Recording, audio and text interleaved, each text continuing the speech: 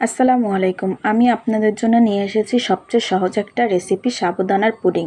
এই সাবুদানা পুডিংটি তৈরি করতে হলে আমাদের দেড় কাপ পরিমাণ পানি দিতে হবে। দেড় কাপ পরিমাণ পানির সাথে দেড় চামচ পরিমাণ আগার আগার পাউডার দিতে হবে এবং এমনভাবে নাড়তে হবে যাতে তলানিতে কোনো দলা না পাকে। আমি আইডিয়ালের আগার আগার পাউডারটা ইউজ করেছি। আপনারা যে কোনো ব্র্যান্ডের আগার আগার পাউডার ইউজ করতে পারেন। এরপর আমি দুই টেবিল চামচ পরিমাণ চিনি ইউজ করেছি। এমনভাবে নাড়তে হবে যাতে চিনিগুলো সবগুলো গলে যায় এবং বলক না আসা পর্যন্ত অনবরত নেড়ে যেতে হবে যাতে কোথাও দলানি না পাকে। বলক আসার পর যখন দেখব আমরা এটা ঘন হয়ে এসেছে, তখন আমরা তিনটা বাটিতে সমপরিমাণভাবে ঢেলে নিতে হবে।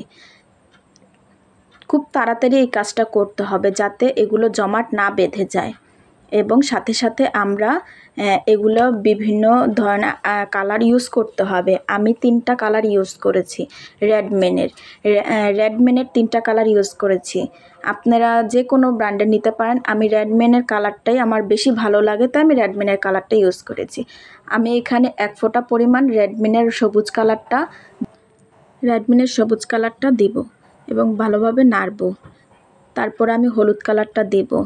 হলুদ কালারটা দিয়েও খুব দ্রুত কাজ করতে হবে যাতে এই এই জেলোটা না জমে যায়। আমি তিনটা কালার দিয়েছি, সবুজ, হলুদ আর লাল। আপনারা যে কোনো কালার ইউজ করতে পারেন, কিন্তু সবুজ, হলুদ আর লাল কালারটা দিলে খুব সুন্দর কালার কম্বিনেশন হয়। এবং এগুলো নাড়ার পর আমি ফ্রিজে রেখে দিয়েছি নর্মাল ফ্রিজে রেখে দিয়েছি আধা ঘণ্টার মতন। আধা ঘণ্টা পর আমাদের দেখেন কি সুন্দর জমে গিয়েছে। এগুলো তিনটা কালারই অনেক সুন্দর জমে গিয়েছে। যখন দেখবেন এগুলো হাত দিয়ে টাচ করার পর হাতে কিছু লেগে না আসে, তখনই বুঝতে পারবেন আপনার জেলোটা পারফেক্ট হয়েছে। এগুলোকে ছোট ছোট কিউব করে কেটে নিয়েছি।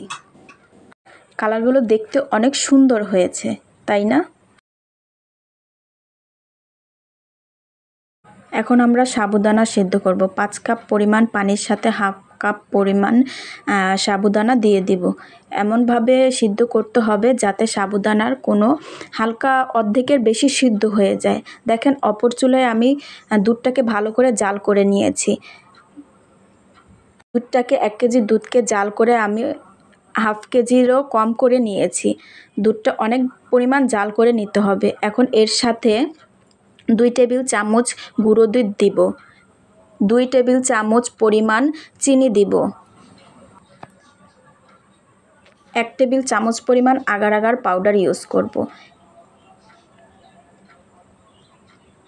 এটাকে ভালোভাবে নাড়তে হবে। নাড়া হয়ে গেলে আমরা এখানে সাবুদানা দিয়ে দিব। সাবুদানাটা দিব, এমনভাবে দিব যাতে সাবুদানাটার কোনো দলা না পেকে থাকে। সাবুদানাটা আমরা হ্যান্ড উইচের মাধ্যমে ভালোভাবে নাড়ব, নেড়ে পুরাটা দলা খুলে দেব। আমাদের সাবুদানাগুলো কোনো দলা পেকে থাকলে এটা সুন্দরভাবে পুডিং হবে না, সব জায়গায় জমাট বেঁধে যাবে। তাই আমাদের এটা খুবই সাবধানে কাজ করতে হবে। দেখেন, আমার সাবুদানাটা প্রায় হয়ে গেছে। এখন নামিয়ে ফেলব। এখন নামিয়ে আমার এই যে জেলোগুলো সুন্দর করে বাটির ভিতরে সাজিয়ে নিচ্ছি। সাজান আমাদের সুন্দর করে নিচে সাজিয়ে নেওয়ার পর আমাদের এই সাবুদানার পুডিংয়ের মিশ্রণটা দিয়ে দেব এখানে। দেওয়ার সাবুদানা দেওয়ার পর উপরে সুন্দর করে সাজিয়ে দিতে হবে। সাজিয়ে দিয়ে আমরা নর্মাল ফ্রিজে রেখে দিব। নর্মাল ফ্রিজ থেকে আধা ঘণ্টা পর নামিয়ে দেখেন কি সুন্দর আমারটা জমাট বেঁধে গেছে।